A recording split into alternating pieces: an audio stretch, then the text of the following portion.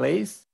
Uh, uh, the, the talk of today will be a sort of kind of uh, not what you would expected for me uh, as subject, but I think I, I, hope I can convince you that uh, studying catalysis is uh, not only important, but also scientifically exciting. And the title, The Interfacial Catalyst, is actually the, the, the there is a, no, we, oh, here. Okay, there should be a, okay, the title of the catalyst was an invention of Robert Schlögl, who is an experimentalist from the Max Planck in uh, Berlin, and uh, who, with whom I discuss many issues of catalysis and uh, with whom I share a vision of what uh, catalyst uh, is all about. Okay, so catalysis is one of the most important uh, process and if we want to move towards a greener world, we need a good catalyst for a variety of things, to generate H2, capture CO2, uh, reduce many chemical, uh, I, I, will uh, uh, discuss in a while. Uh, uh, the production of ammonia is some um, chemical processes of industrial relevance are energy intensive and uh, of course, uh, to be impactful, you have to be able to do that uh, to a very a large scale because you want to produce tons and tons of the stuff. Okay, so I know. Okay, so uh, to catalysis, it generally it is associated uh, this picture you start uh, from A, you have a reactant, you have product, uh, the reaction passes through a transition state, and the function of the catalyst is really to lower this transition state. Of course, uh, we will, I, I, will not uh, disclaim uh, this thing is, uh, is, is, is, is, is very important because the transition state is the needle through which the reaction has to pass to go from A to B. Uh, but in general, if you look in the books, uh, this is associated to uh, some static picture. So the, the catalyst uh, can be some nanoparticle, can be a step on the surface, can be a chemical there, and so on. So there is implicit in the notion that have been taught, uh, they have been taught about catalysis of a static structure. A static structure which corresponds to reactivity. Okay. But uh, if you pause a, a, a moment uh, and think how in the practice uh, catalysis is carried out, uh, you will see that many industrial catalysts take place under condition of high temperature and pressure. And uh, it's far from this idealized thing. So because you have a flow of reagents uh, and the flow of product. Uh, and uh, so this calls uh, into, into question the static picture of a well-defined structure reactivity relation. And for instance, one example of, uh, of a puzzling feature is that when you prepare a catalyst in the lab, one of the issues is that uh, you get the catalyst, but after a while you have to replace it, okay? Uh, but uh, in many cases, uh, that's not true for industrial reaction. The catalyst can occasionally be poisoned and you have to refresh it, but you don't have to throw everything. It is the same catalyst. And uh, so this is an example of an industrial reactor. Uh, so that's like a bomb uh, because you have to screen Uh, this is the, the environment the, uh, from, uh, from the high pressure and high temperature. Okay. So I will argue that uh, present theoretical models are inadequate and a fully dynamical approach is needed. And uh, this is, we base this on methodological approaches which allow us to, uh, uh to do molecular dynamic simulations. And in particular, this is machine learning methods have been and really an, an enabling technology for us and uh, we'll, uh, will not talk in abstract and uh, I will present a result of the, we'll, we'll go into detail, the composition of ammonia on this uh, uh, lithium imide compound. And the, of course, we are not the first to worry about theoretical models. And in 1994, Ertl uh, uh, one of the giants of the field, uh, he, he, he, he, championed the use of computer simulation in studying, in studying catalysis. Okay, so a lot of, uh, of my uh, a lot of my discussion will have to do with the production and uh, decomposition of, of uh, ammonia. Ammonia was, uh, was uh, discovered by these two gentlemen more than a century ago.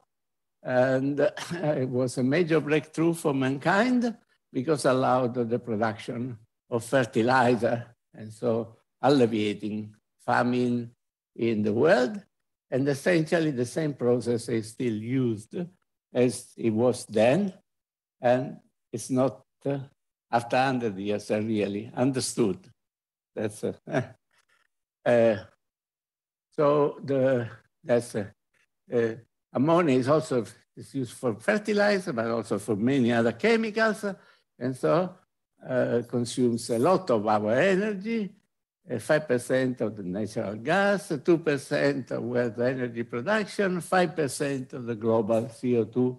Huh? So to understand and make it, uh, uh, this process cleaner is per se a worthwhile task. And, today, uh, the ammonia is uh, another possible use, which is not, uh, uh, since it's rich in hydrogen and we know how to transport ammonia, uh, it is planned to be a major energy carrier in the future. So as I said, still, we don't understand it. Okay. Now, I will just wait. I, will not talk uh, mm, in uh, uh, on the Haber-Bosch, but I kind of will wait your appetite by showing what the effect of a realistic simulation, uh, realistic quote unquote, of, uh, of, uh, of uh, catalytic process could be. we see only one step here of the process, namely the decomposition of a nitrogen molecule on iron surface at the 700 Kelvin which is the temperature uh, at which the reaction operates.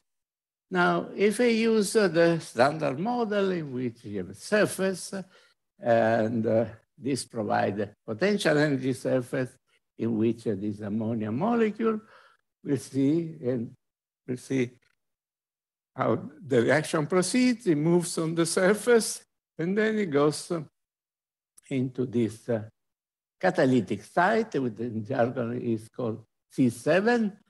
This catalytic site is rich in electron, and electrons are donated to N2 bond, and the bond breaks. This donation is essential because you want to break a triple bond. Now, so this is the ideal. Now let's go to a more realistic simulation in the process in which we let everything moves as 700 So again, here we have the same catalytic, the same molecules that goes there, but uh, there's a lot of mess. everything moves around, and uh, by the time it reacts, molecule is gone out of the thing. So if you were to extrapolate from here, the behavior there, it would be in a bad shape. Okay. Uh, okay.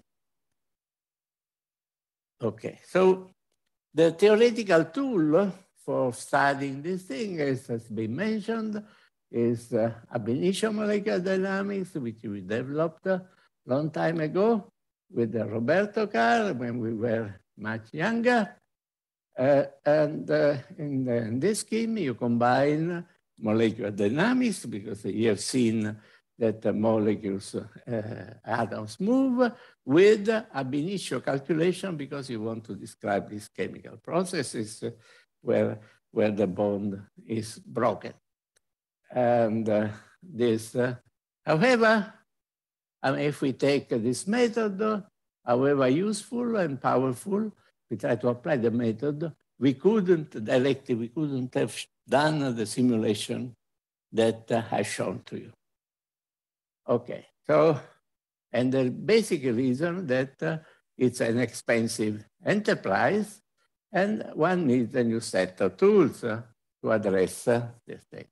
I will go quickly through the tools, but uh, not, not spend awfully, not much time on the, on the, on the methodological part. Uh, just give an impression of the ideas, and then we look into a more uh, fun uh, physical simulation.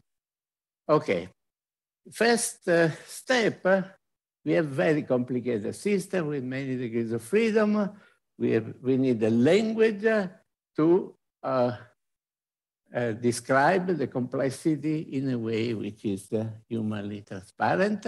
And so we use, uh, instead of using the potential energy surface, which is uh, a, a mass in a very high dimensional space, we, we use the free energy. We introduce a set of descriptors uh, of collective variable or order parameter, reaction coordinate, each uh, each community has its own language there, and we project the probability distribution onto this important uh, degrees of freedom, and usually these important degrees of freedom are also the slow uh, degrees of freedom of the system. Okay. Uh, there are ways of determining, uh, I will not, again, I will not go uh, in detail, but just I show on a simple example how this collective uh, variable look like. Suppose we have a potential like this. We have one main barrier and two secondary barriers.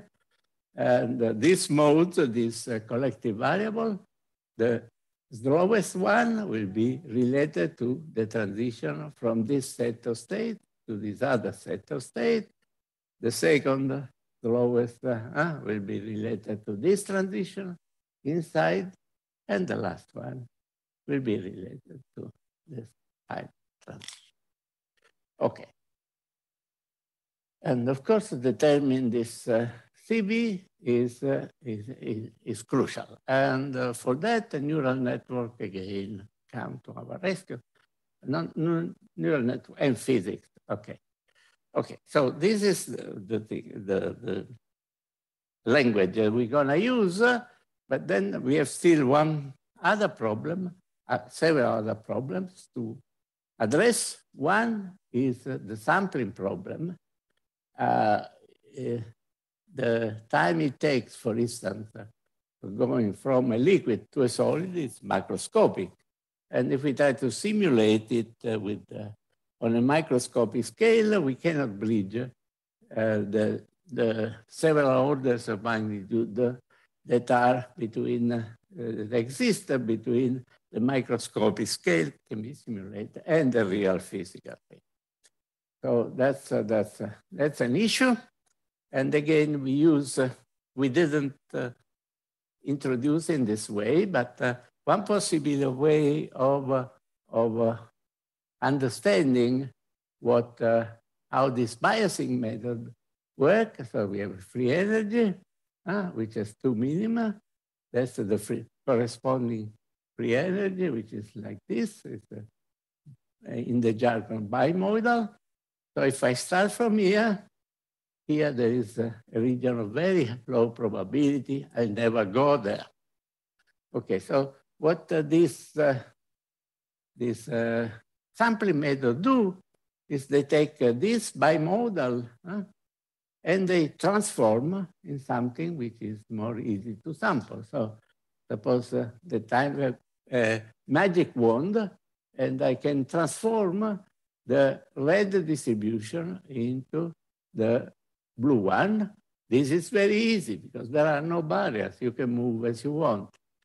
Uh, or I can say, no, I don't want it flat. I don't like it. I like a bit hilly. And that I can do this as a target distribution. So, but uh, the uh, a non-sampling method do this. They start with something which is very difficult and they end up with something which is much easier. So if you want, uh, in a jocular uh, way, you can say, we start with Switzerland, uh, which is the landscape original, and we transform Switzerland into Tuscany. So instead of rugged mountain, we have gentle and low uh, hills, and I can go easy from one valley to the other way. And of course, you have to have ways from this to go back. Uh, so this I really will go through, just show flash formula because, uh, because uh, uh, uh, uh indicated just not waving the hands. So this are the latest method. It's OPES, uh, which essentially does what I'm saying you. So start from here, it goes there and allows us to go back there and that's we can totally skip and go to the next ingredient that we need to have in our hand to move forward, namely uh, the interaction potential. I want to be able to have an accurate reactive potential, which is able to, uh, to describe uh, these chemical processes. And again, here, we, uh, we did it the first time, long time ago. So we do a bunch of of uh, ab initio simulation, of DFT calculation, of many different uh, configuration, and we fit uh, this data to a neural network, which provides an analytic, if complicated, representation of the interaction potential. And uh, essentially, it's same accurate uh, as the ab initio D, of course, is much cheaper. Allows us to do things which are what would have been.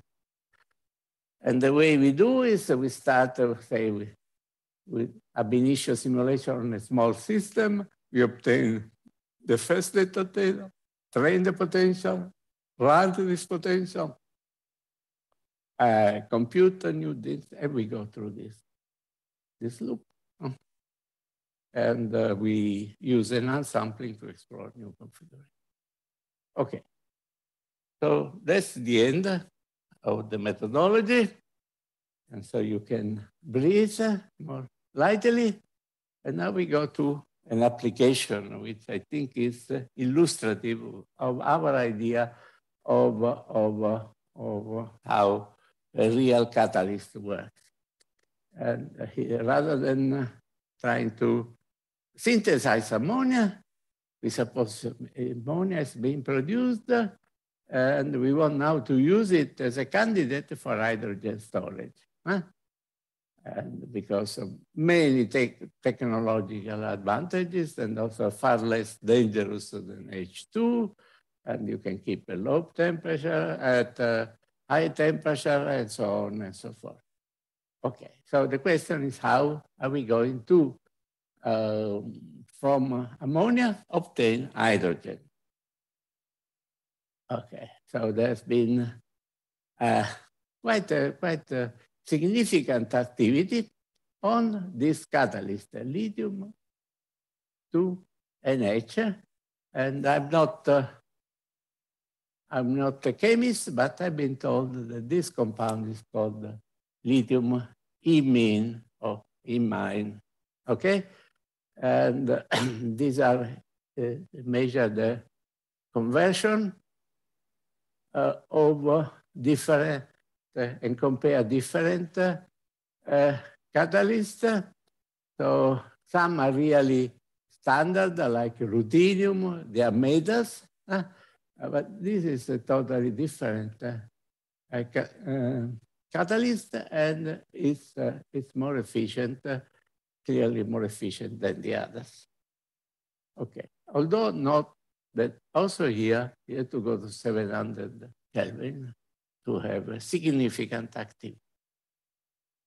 Okay, so we, we need to study this uh, lithium imide, and that's already a, a clue to what I'm going to say, because typically when you look at catalysts, they, they have a, a, group of molecules are described, uh, some chemical structure.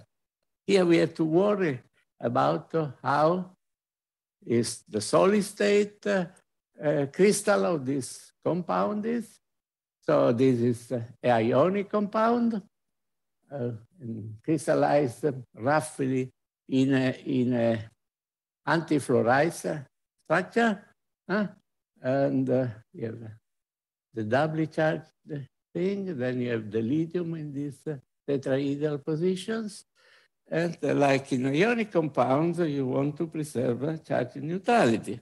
And so there is an alternation of negative and positive charge to obtain, uh, to obtain uh, the local neutrality. Uh, that's not quite it. It, the, the, can produce some defect, so the lithium can move into a tetrahedral position and also in a tetrahedral. So there can be, uh, can go, can form vacancy and an interstitial. Okay. Uh, it is a superionic system like uh, many ionic system in which there is a, a larger ratio between the radii of the two ions uh, the system becomes uh, uh, superionic. This NH, the imine, is fixed, but uh, the lithium, they move around the place. And the mechanism of, by which uh, the lithium moves uh, is here, it goes tetrahedral, octahedral, tetrahedral. So that's uh, the, our, our, our, our, our method can, our approach can describe without adjustable parameter this thing. And you can study it as a function of temperature. Experimentally, there is a transition here, and we, we do a good job. Okay. Uh, while we are talking of the property of uh, this amide, I want to underline one property because we'll have to uh, discuss it, one property of, uh, of, the, of, the, of the ionic compound. So if you, yeah, that's the spectrum. So you have a gap. This is the HOMO-LUMO gap on the crystal, very large. But then suppose you take out uh, a, an so you take out two negative charges, two electrons will be trapped in the cavity, forming this localized state, which is called the F center hmm? of some type. So we have this electronic state, which is quite unique to the ionic crystal. And uh, these are things that they derive from the need to establish charge neutrality uh, the survive also the defective. So even if you are in a defective antifluorite structure, these are still stable state, and you see the F center is a state in the gap, like in the physical semiconductors when you have an impurity. Okay. Now, so this is the crystal. To have a catalyst, we have to cut our crystal. And so we look at the surface. And what you see, nothing special happens. The imide the surface remain at the surface, but the lithiums, they start moving around. So it's just as you were to cut the system. Nothing very dramatic. But now, and that's where, where we go uh, to the core of what I want to show you, is expose our surface to ammonia molecule. Hmm. Uh, uh, what happens? Huh? Uh, they stay, oops, they, it has exchanged. This reaction has taken place. Huh? And then the second ammonia comes and the, the second such a reaction takes place. So at the end of the day, what you have, you have twice this reaction. So originally you had the neutral and the doubly charged, and now you have two singly charged molecules. The presence of this uh, defect has dramatic uh, consequences on the property of the surface, because now you cannot do this uh, plus minus plus minus uh, which is characteristic of the ionic system. You have uh, ions that have different charges, you have another extra ions, and so uh, the, the surface is no longer stable. There is another layer, and the imine can also become mobile, at least in the surface state. That's very clear in this, uh, uh, this uh, plot, where it's a kind of scatter plot. In the superionic phase, you see, we have the lithium that move all over the place, and, and they mean the stays there. Uh, before the reaction, the mean still stay there and the lithium move all over the place.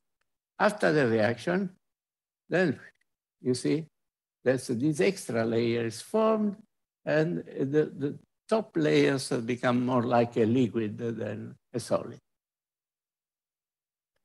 Okay, now why is then important for catalysis? And to understand why it is important, we may, for instance, uh, uh, look at how uh, nature does it. Hmm? There is an enzyme, nitrogenase, which uh, does uh, the Haber-Bosch kind of thing. Huh? So you start with the, with the an ammonia molecule, and you end up with the uh, with the nitrogen molecule, you end up with an ammonia. Uh, and these are the reaction paths. Uh, we want to go from here to there, but uh, never mind. I think it's more or less the same. So there are different pathways. You go through different intermediates. During this process, you have to have protons and electrons.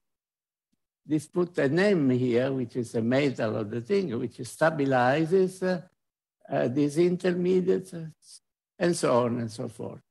So there are essentially three ingredients uh, that allow this uh, uh, uh, nitrogenase enzyme to work is the ability that the enzyme has to give or take electrons, give or take protons, and there is something, slide missing now. I, I, I, ah, no, no, it's later, sorry. And uh, stabilize intermediate. Huh? So this dynamical surface has all this uh, ability. We can, proton can move from imine to imine with the mechanism for the condensate, which is similar to a Grotthuss mechanism. So proton can be added and taken away from this uh, surface layer. As more interesting, I can also store and take electrons from the system.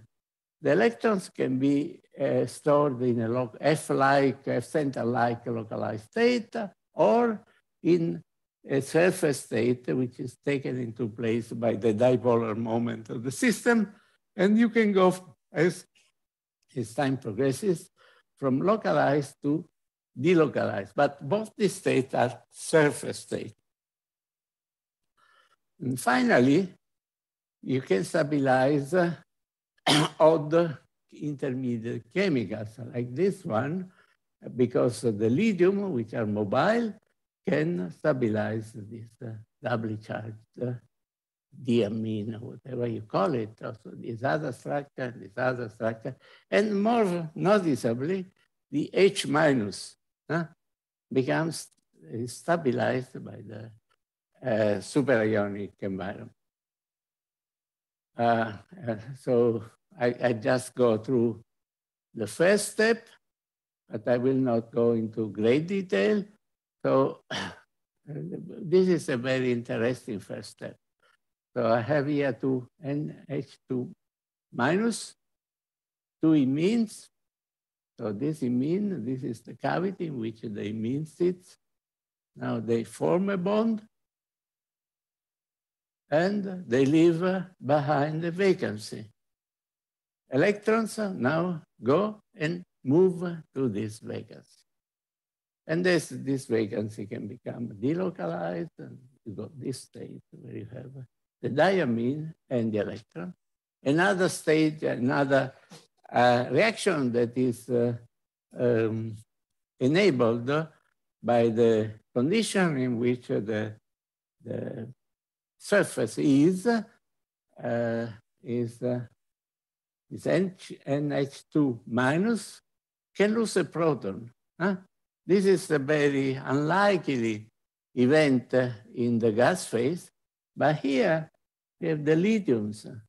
The lithiums kind surround this uh, proton and extract, abstract the proton from uh, the amine, and you end up with uh, one of the product is an H minus in solution.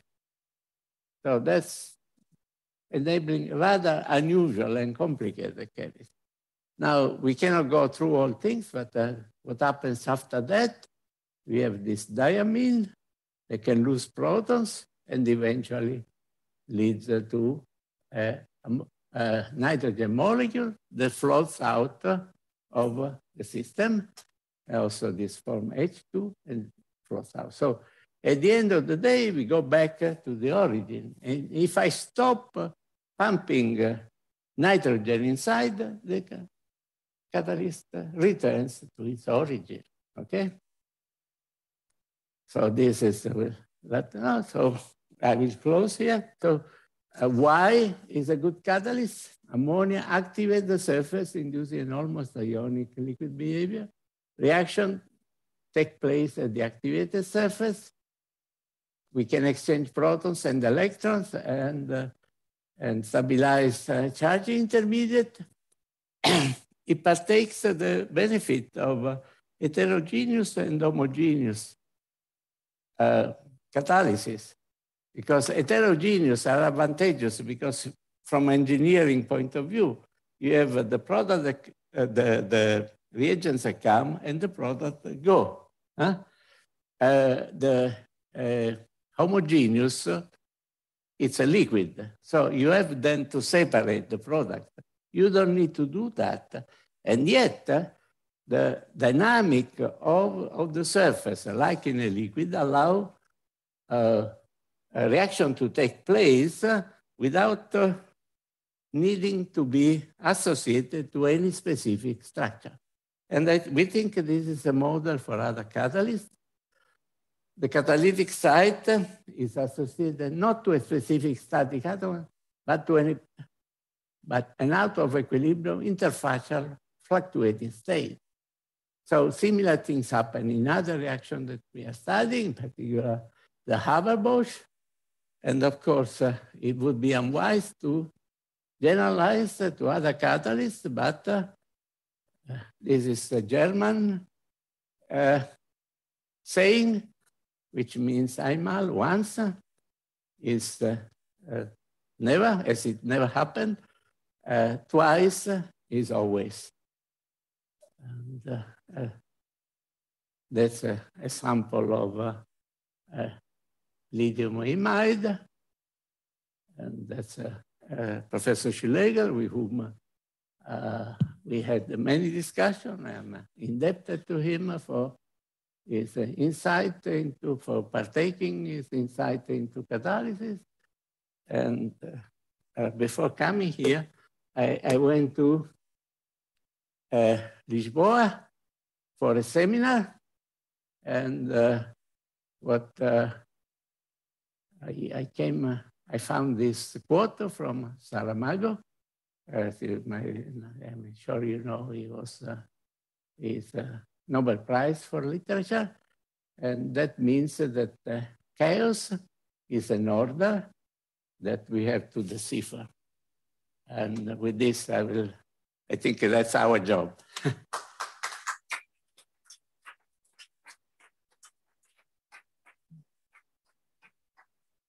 Thank you. Very much, Michele, for the uh, beautiful presentation. Um, so we we can now uh, take questions. Uh, maybe first uh, from the from the room, um, and we can also get questions from Zoom. I will take care of reading uh, the questions aloud. So people in uh, on Zoom, please just put your questions in the question and answer box. So, would yes, please go ahead. Uh, hello, I'm uh, Quentin. I work in Lyon in also uh, metadynamics um, simulations. And I was wondering, what do you think? So, do you think this type of simulations could also be achieved and, let's say, give the same message with other enhanced sampling molecular dynamics method? Uh, uh, as the, okay, if I understand you, as far as the main context, uh, content of the talk, which is to get a picture of how a catalyst work, whether I use uh, uh, OPES or use uh, either umbrella sampling or use whatever you want to use, this will be unaffected. It might affect the details of how the reaction takes place, but not the general picture. Now, uh, we use uh, we use uh, this uh, technique because we invented and we are happy with it. And so uh, until proven wrong, we'll stick to what we know. But I mean, I'm, I'm open. I mean, I really am, I, I really am not ideological. Huh? I, I, I take what, what's uh, useful. You, okay. Yes, Yves Petrov. Uh, please wait for the microphone, otherwise people will not hear you. Okay. Our very nice calculation. What about the experiment? Some of the things that are here, we said they can be, uh, they can be found in the experiment. The Grotthuss mechanism is there. They did some experiment with the mixed crystal of imide and amide, and that's a better thing. And we believe that's because order uh, that enhances the disorder at the surface. Uh, they speculate some of the intermediate that we have discovered. People, they say that they, they chemists, they've written in the papers, but never just out of the blue. Uh, uh, chemists know. I mean, never under, underestimate the chemist. Okay. So but some other details now are, are really in line with, uh, with what, uh, with what uh, also that uh, the, uh, the, the, what you call it, uh, the nitrogen can move during the reaction. They have tagged, the, they, they use isotope and they see indeed that that happens. So I think it's compatible with what we know. Uh, of course, for experimentalists, uh, to go beyond uh, have a tough life more than us because doing experiment, as they say, in operando condition, uh, 700 100 bars, it's a tough call. Yes. Please. But they are getting better. So we think we are we are coming closer to Yes. John Kiefer. About, about the hydrogen storage, uh, generally speaking. So you suggest ammonia could be an interesting um, nitrogen, uh, hydrogen storage, uh, but the condition used to um, uh, uh, dissociate hydrogen from nitrogen in ammonia, 700 degrees, is pretty similar to what we have for the decomposition of uh, natural gas, Uh, methane. Uh, and uh, in this sense, wouldn't methane be sim simpler as, a, as hydrogen storage? Uh, uh, that's an engineering question, and then I take for that uh, what they tell me. Huh? I know, and I, they must have the reasons, but they we are part of a big project, German, of many universities many many companies on studying the, the composition of ammonia for this purpose. And for sure, I know that uh, uh, the infrastructure for the uh, distribution of ammonia are being prepared. Okay? okay? So Rotterdam has got, I don't know, six lines already there. So what the engineering reason for that are, that I don't know. It is also possible that at the end of the day, we'll not, not use the lithium imide, but some other concoction. But uh, yeah. More questions in the room? Yes. Thank you very much for the wonderful presentation. You certainly said it, maybe, I, but I guess I missed it. Could you please say again, in this hybrid approach that you use with um, machine learning techniques, where is this crucial step that allows us to save computational power with respect to the traditional ab initio uh, molecular uh, dynamics? The basic thing that we could not without is the construction of the potential, because that would be two, two things. Ab initio would be costly per se, and also would scale very badly with system size. So it becomes soon very, very prohibitive. The other thing where we, I talked about the non-sampling, that's useful, extremely useful, but uh, you could do it with thinking and doing else, elsewhere. Also, that facilitates the thing. The first, without the NN potential, it would not have been possible. Uh, we, yes, uh, we have a question over there.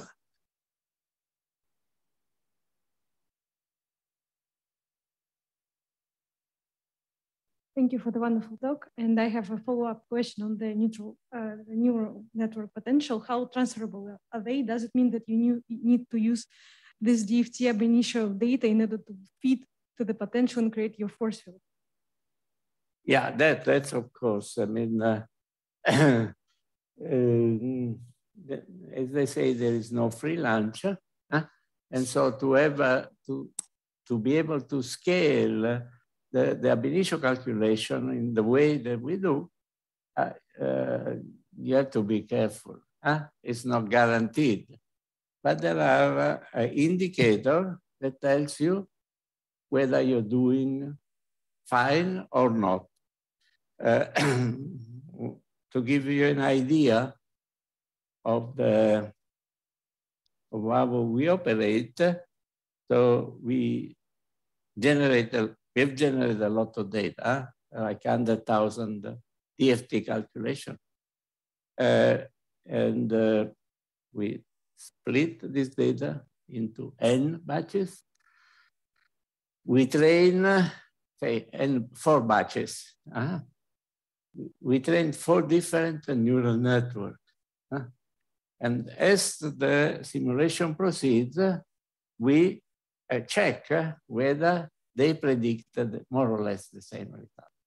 If, if uh, that's not the case, we stop, we make a simulation, and uh, we add this data to the old one, and we train a new set of things. and that's typically what happens.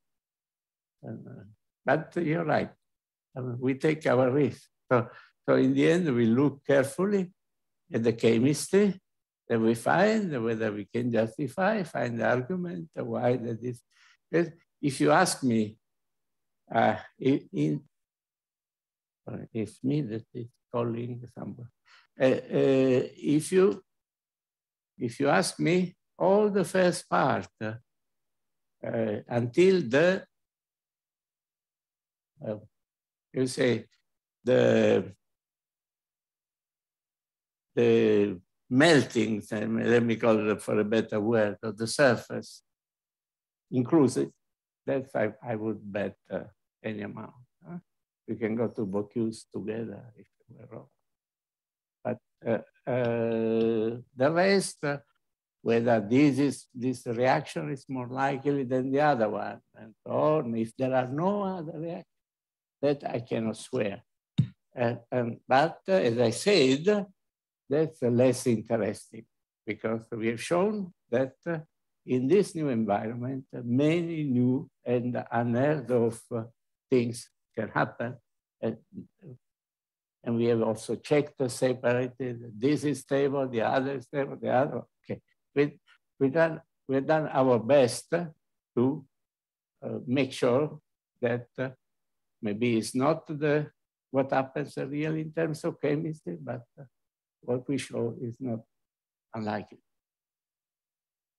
Thank you, Michele.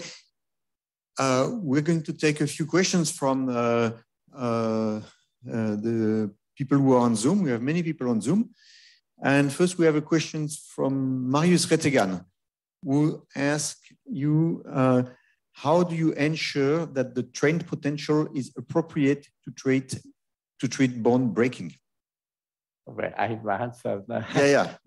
right now. But, and, and really is trained on data in which bonds are not broken. exactly the same question. It's yeah. the same question. Yeah, yeah. So, but we do put uh, in the in the training uh, the bone process in which uh, anytime we see a reaction takes place, immediately we go to DFT and uh, add this data to the. Thank you. Uh, then we have a question from Pietro Zambon, who thanks you for the nice talk and asks, what is the time scale of the reaction you showed and does the dynamical approach give a different value than the static one? Oh, that's a, that's a, uh, uh, complicated question. I guess. Uh, no, because uh, uh, I, I, I would we, we can give you an idea of the barrier that, uh, uh, that like uh, under kill uh, in some units. Don't, don't. Uh, uh, so it's 700 degrees of the reasonable barriers, and these are only rough estimates. The other thing is that short of, I mean, if you had an infinite computer, you could run, run and calculate and see all these reactions, calculate the flux and so on.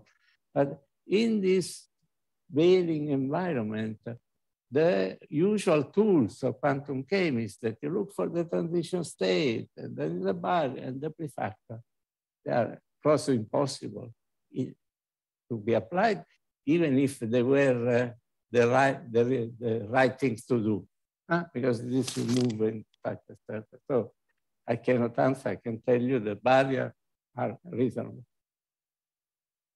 Thank you.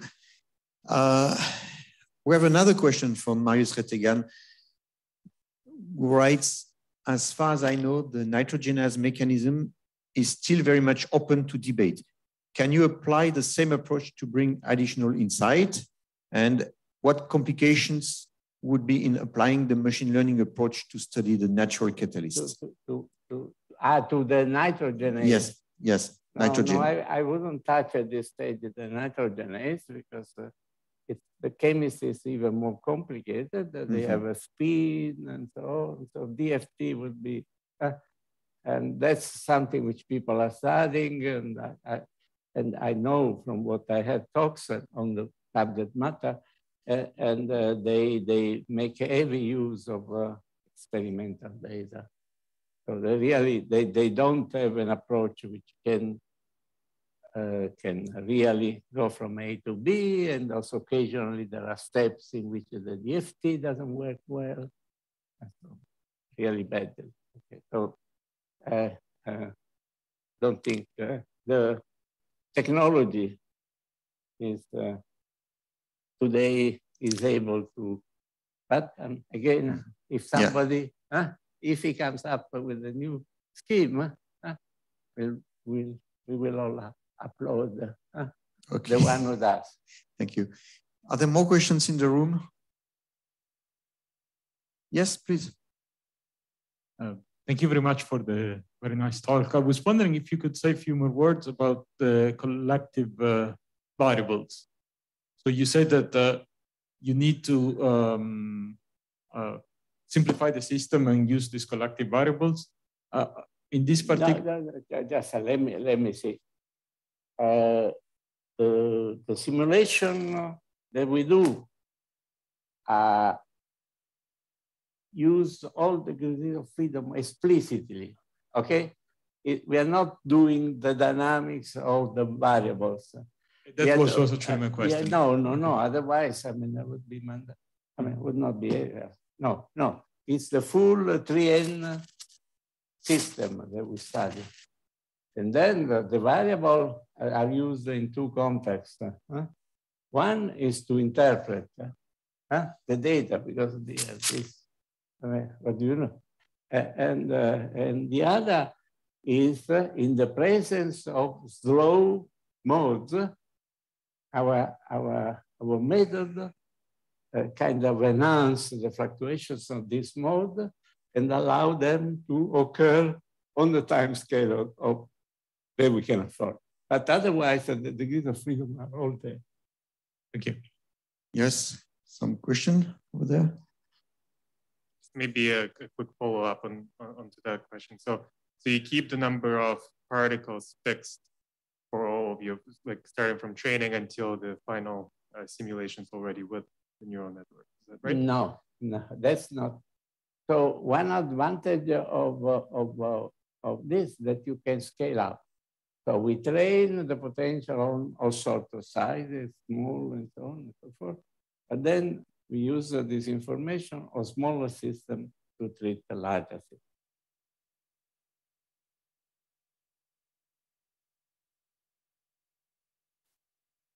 So it seems, oh, maybe there are more questions. I need to check.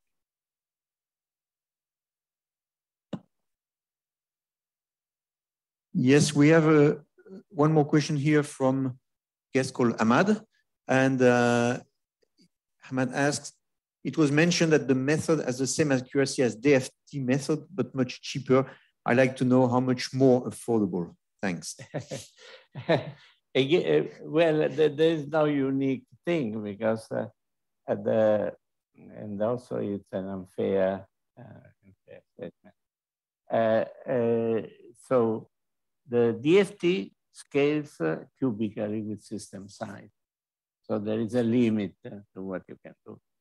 Within the range in which we have DFT and, uh, and this neural network calculation can be carried out, uh, I will say that uh, four or five orders of It's huge because that is, you have to do the electronic structure calculation, orthogonalize, do the calculate the density, and so this is a function that you have to, it's like a potential. It's a complicated function, so, but it's a little more than a standard uh, uh, uh, MD based on, I say one order of magnitude relative to give or take. -huh.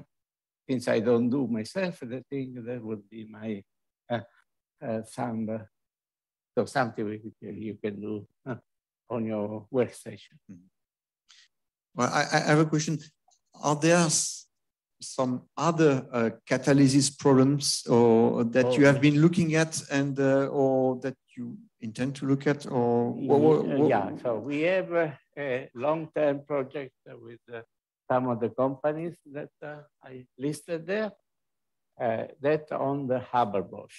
We've been, uh, Also because, you know, that, that's like the, the gasoline engine. I mean, it's Yeah. not, not the best, but everybody has got it. They can't throw away. So they, they tend to, would like to improve the thing. Uh, but there have been other suggestions, other catalysts have been suggested.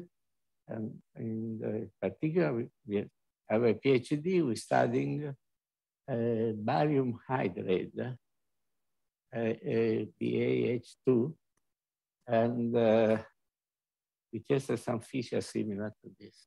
I think will work a bit in my, uh, similar to what. So uh, dry mud Okay. will be at the end of Okay.